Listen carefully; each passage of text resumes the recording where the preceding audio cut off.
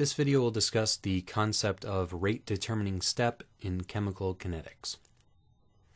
So we have some complex reaction here where we have the reactant going to the product with some observed rate constant K observed.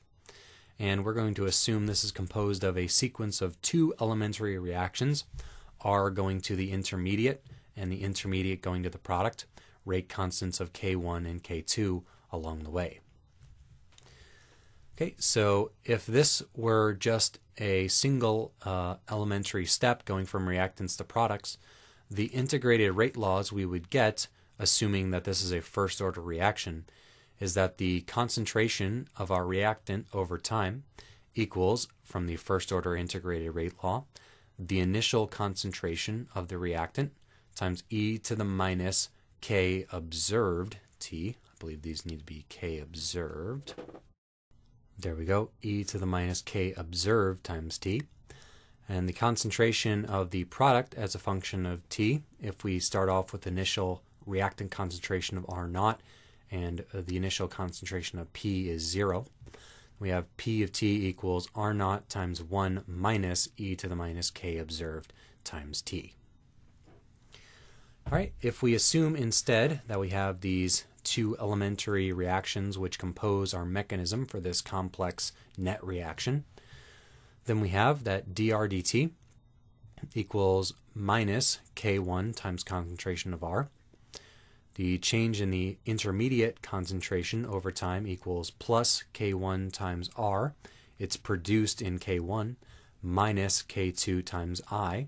It is consumed in reaction 2 and the derivative of the product concentration with respect to time is equal to plus K2 times the concentration of the intermediate.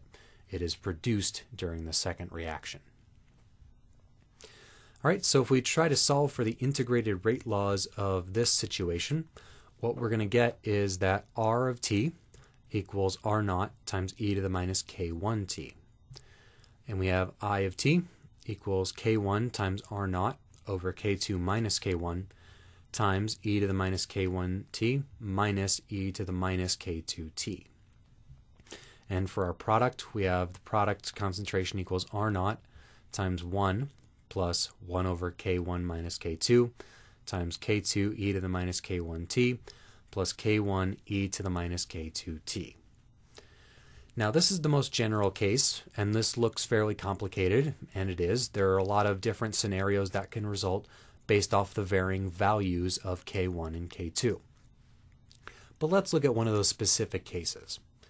Let's assume that K2 is much, much faster than K1, or K2 is much, much bigger than K1.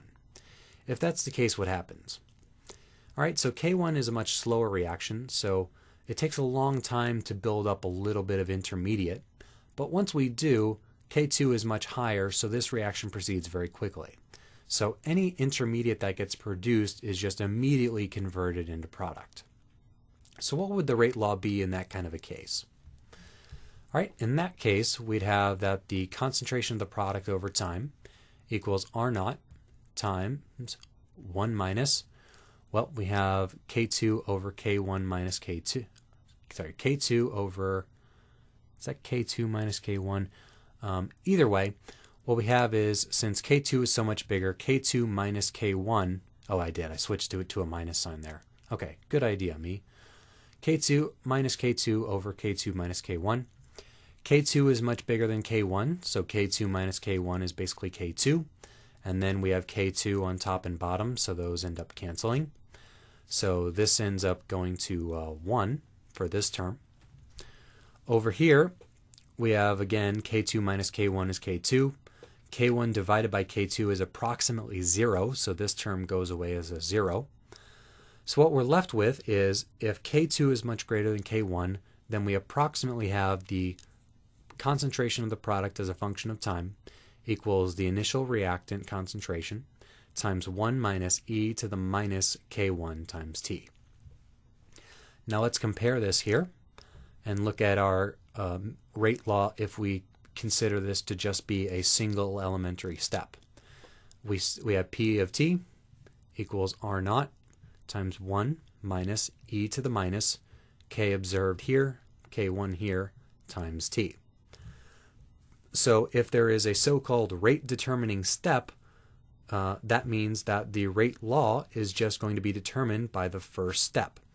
So here, K2 is much, much greater than K1, so the first reaction is said to be the rate determining step.